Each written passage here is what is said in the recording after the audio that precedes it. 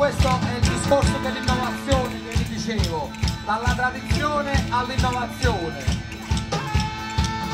Perché la tradizione non è mai stata una cosa ferma nel tempo, si è sempre attualizzata, da volta in volta, da generazione in generazione.